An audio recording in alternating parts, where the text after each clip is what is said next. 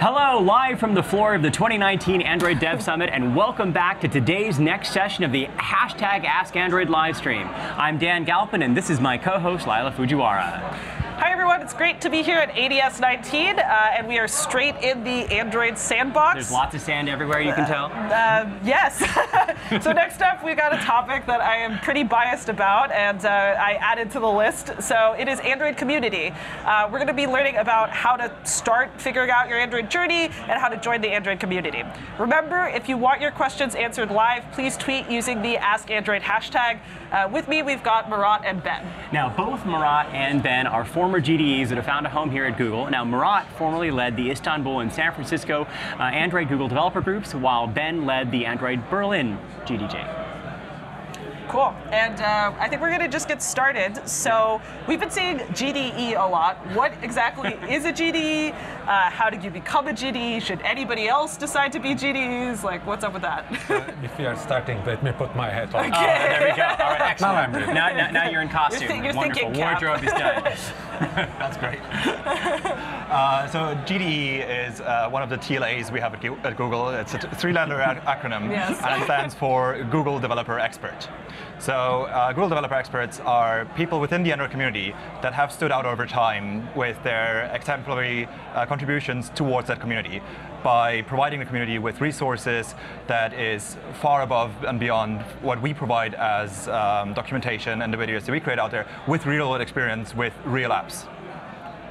And really give back to the community where Yeah, and come help, help, help to foster and create that community. I think is really the key thing. you know, and is- which I is think, as. Dan mentioned, you were both GDs before joining Google. How did you get involved with the program? So th- this goes way back for me. Uh, if, if it's okay, I'm just going to start on this. So um, in Berlin, uh, I was studying there, and the community was really non-existent. And the first couple of Android phones came out, and I got one of those phones. I stumbled across a community meetup. I went to that meetup, and over time, that meetup continued to grow. And I started speaking at these meetups. Um, uh, back then, there wasn't a GDG. It was uh, we called it Stammtisch, which is basically roundtable. uh, we just sat there and we talked about things related to Android development. And at some point, I started presenting my own things that I learned and uh, continued doing that over time. And I started sharing uh, code that I wrote. And um, I got invited to conferences over time. So people asked, "Do you want to come to this conference?" And at one point, um, I was asked to apply to become a Google Developer Expert which I then did. Um, there were a couple of uh, people that I met with that, and then I got the, uh, the, the tag of being a Google Developer Expert. Well, I remember meeting you early on when you were working on uh, Blinkendroid, which is Oh, this yeah. very, very cool app that allows you to, to synchronize a whole bunch of phones displays together for these really, really cool. Uh, and it was it was just awesome the work you were doing. So I think it was it was clear how you ended up getting noticed. You know, just just just just by that uh, it, itself. And- Yeah, I, I also have a similar story. Uh, I was actually in Istanbul, uh, again gathering meetings, and things started growing, and I started traveling, doing talks at different GDGs, and then one day I, uh, I applied to become a GD, and uh, The rest is history. Yeah, exactly. Uh, yeah, so both these guys have basically done the entire journey from you know starting to get involved in the community to uh, sort of leading it to some extent. I mean, you're leading the GDEs right now, which is pretty cool. Okay, so listener question. Uh, maybe this guy, this one. Yeah, sure. So, one- so one of them is uh, uh, Mohammed 004 044695969 asks, should I start my Android development journey with Kotlin and totally ignore Java? Well, definitely Kotlin, uh, we are going Kotlin first. So Kotlin is a good place to start. We have updated trainings, code labs. Um, if Java is okay and you can do what you want to do with Java, it's perfectly fine. We support Java, you can write Java, and uh, if that's enough for you, that's fine. But uh, as things progress, Kotlin is a good place to look at and catch up new features. Any thoughts on this one? Or? So I, I've, I have written Android applications in Java programming language for a long time, and when we announced support of Kotlin on Android, um, I started, started rewriting one of the samples app, sample apps that I wrote uh, in Kotlin, and the amount of fun that you have with that. Yes, that pun is not intended, but it still it provides itself. Functions are, are called fun in Kotlin. Just as and the productivity that I have with that, uh, comparing it to, to Java programming language, I'm just so much more happy with that. Mm. So um, if you have the choice to go with either one of the languages, I personally uh, would go Kotlin straight away. Yeah, and this isn't like this isn't like an official Google rec- recommendation, uh, but you know, I, I think honestly, I, I, feel the same way. Like you know, so. Plus, think- you don't need semicolons. Yeah, so the, the uh, phrase Kotlin first was mentioned, and I think that what that means, at least from our perspective, is a lot of the samples and documentation that we're doing is, you know, we're writing it in Kotlin 1st Um, so it's not to say it's not in Java, but if you want the freshest material, And we, Kotlin. we also keep Kotlin in mind whenever we're designing our things. Yeah. All right, cool. So next question. um, so uh, Anil KR, oh, a lot of numbers here. 0306 asks, why is there no, no tutorial on Dagger 2 on the Android developers page? Which, this was asked a few like a week ago or something like that. Yeah. So, So, uh, well, the good news is a couple of days ago we made a push on uh, on our developer site. So now you can see dependency injection uh, tutorial that a colleague of ours wrote. Uh, Yeah. It's a very good and long uh, tutorial that goes very in depth. We also um, provide provide all this. So you go on developersonandroid.com and search for dependency injection, and you will find all the all the answers to this question. yeah, Yeah, It's sort I- of yeah. I don't. I was going. He's technically right. That Neil's. It is. It is not actually on the and on the Android developer site. It's technically on our Code Lab site. So, um, but you definitely can find it. Yeah. So, it's if you, code, lo- code, Code labs. Labs, yeah. developers There's also doc, uh, documentation coming out about uh, dependency injection, and I think it also does mention Yes. uh, Dagger 2. Uh, we also have a advanced Android course that includes uh, modules about testing uh, that get into dependency injection. Uh, it's not uh, Dagger 2 material, but it leads uh, great into the code lab uh, about Dagger 2. So uh, plenty of Dagger 2 testing material um, if you're getting started with Android and you want to start with DI and testing. All right, so so Brett Whitney 11 asks, what is the best way to start learning how to write programs and on Kotlin and you know programming in general? Since you've been doing a lot of work on that, Yeah, we have lots of trainings, and we recently launched a new one. Um, we also have lots of code labs, documentation. Uh, take a look, and uh, we also have the Kotlin Bootcamp uh, training. So That sounds Um, good. Uh, another thing that I would like to add to that is uh, what helped me grow a lot is um, a lot of the communities that are out there, they run study jams and things like that. So that means that people in the community come together and do these courses and uh, these code labs together as a group and go above and beyond and advance on their own um, in their own time and doing those things and learn together and share their experience afterwards. So it's a really good point to also come together to community as a community to grow on this. Yeah, yeah, there are GDGs everywhere. So uh, go take a look. There's probably a GDG nearby. Attend one and Yeah, and I think Yeah. that uh, we, so sort of bouncing off of that, I don't know if you mentioned the Kotlin Everywhere campaign that is currently going on.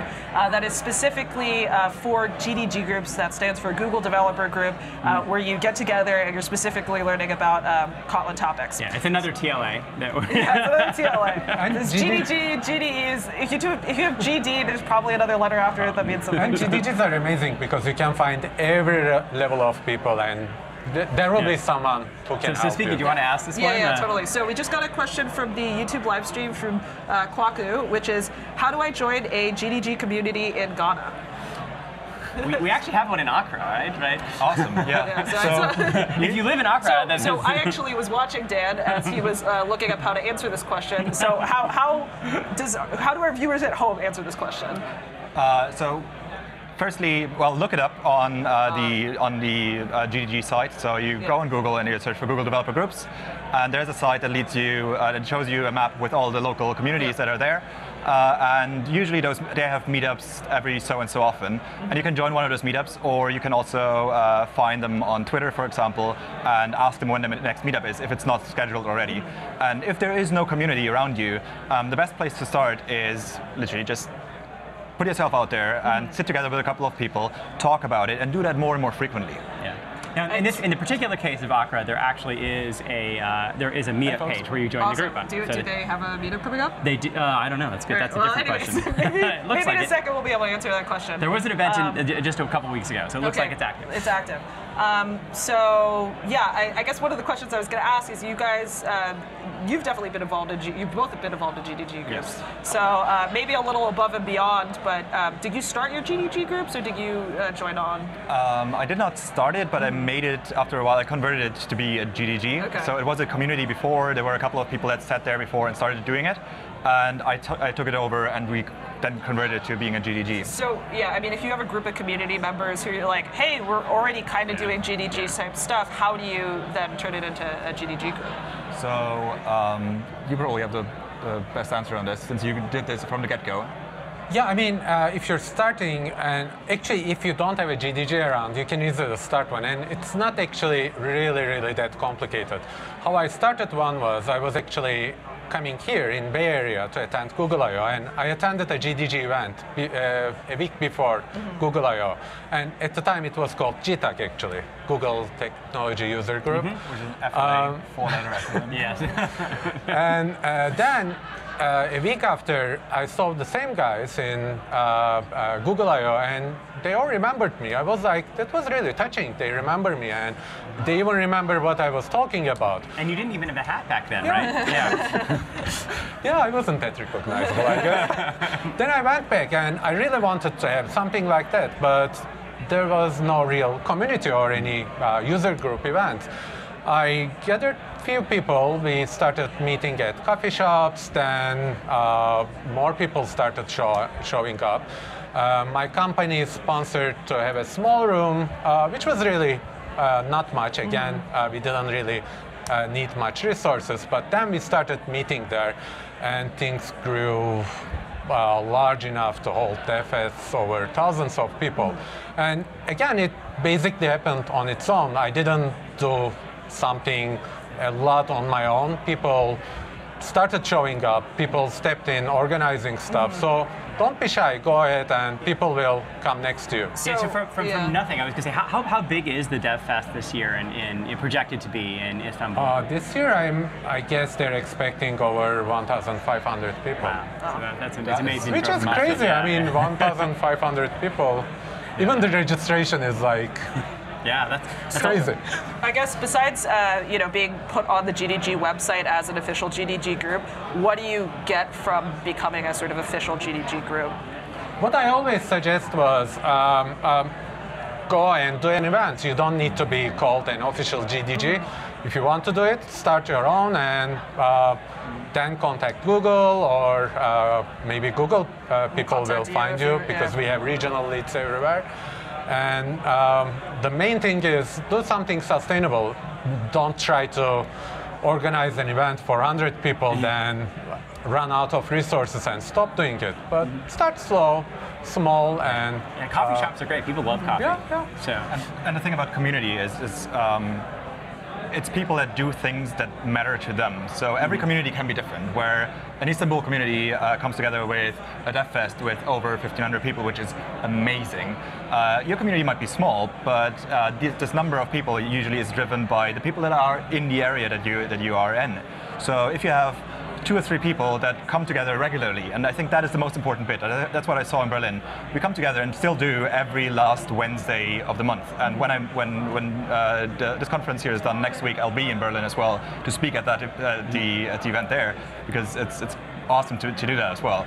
Um, it's still every last Wednesday of that month. And I think having one specific set time makes it easier for community, community members to show up and do their things. And over time, people will then, like Murat said, show up and create their own content, provide it there because they feel like they want to give back to that community.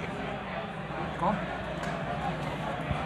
So at, uh, at the keynote today, there was some talk about the Kotlin GDE program, I think. Can you some, shed some light into that? Uh, sure. So uh, we did have GDEs for Kotlin for a while now, mm-hmm. um, but that was tightly coupled to being an Android GDE in the first place. Mm-hmm. Uh, but our investment in Kotlin is growing, and so we decided to decouple that from Android as a category. So people that are not Android GDEs can now apply to become a Kotlin GDE. Mm. So, uh, for example, that might be interesting for people that work on the web or right. in cloud and don't do anything with, uh, with, with Android in the first place. Yeah, I mean, there's no there's no reason why Kotlin is only useful on Android. That's totally true. So And we've seen people do that, uh, share a lot of great content in on Twitter, for example, um, that are uh, very invested in Kotlin as a language and in the, in the things that you can do with a language, but not necessarily as Android. And we wanted to make sure that we also um, give those people the possibility to get the recognition from, from us in that case. Great. Okay, we have a question live coming in right now. Okay, so and it's uh, something that I did actually want to talk about. So uh, Ollie asks, uh, are there any new courses in Udacity for Android? or not? Maybe you like to take I was this going to say. last I/O we uh, released a, uh fundamental Android course, and uh, just uh, today with this event we uh, released the advanced version. So we have a new Udacity course which uh, talks more about the uh, advanced topics we wanted to cover. What, what kind of topics? Oh, there is a bunch of. Uh, it starts with notifications, maps, testing. Uh, What else? Animation. Uh, animations, yeah. Trying to think if we're log- missing yeah, anything. login, I Did you think say something- login? yeah. Yeah, login is Uh, also. So like doing conditional login. Yeah. Um, yeah, so that's. Uh, There is Firebase cloud messaging. Yeah. yeah. And if you're uh, not familiar with Udacity, it's an online uh, learning platform with videos and interactive quizzes and things. So uh, you should be able to see that live soon. And, and we also have it's completely free, by Yeah, way. and we also have code labs up for most of those topics as well. So you can you can either learn through video, or if you'd rather learn through you know kind of traditional web learning, you can also do that as well. Or you can come together within your community and do those courses together. Yep. Yeah, and it's actually a really great thing as a because you that's you, you both of you have done that right? Had have done Yeah, code that's labs. actually how Study StudyJam started. We Mm-hmm. basically take some content, and it was really amazing because uh, although Google provides some content, Mm-hmm. some GDGs decided to use their own content. So they either pick other code labs or write their own apps and uh, work on it. So they're like full boot camp esque almost training courses. Yeah, and I think that's one of the things when you're doing kind of uh, learning on your own. It's really hard to keep yourself motivated, but you have a whole community around you. You know that that all of a sudden you get more excited about about doing and learning, and suddenly you're working at Google as. so these things happen. Okay, so uh, Moe Din asks, is the course in Kotlin? Yes, uh, Kotlin first. It is uh, all in Kotlin. Yeah, we, we actually have an advanced Android app that was that was written uh, that was that was written in the Java programming language, and so this is a full update and a really very very substantial uh, update to the app. That it's also taking advantage of all of our latest patterns. All right, awesome. Okay, so um, I am going to go to.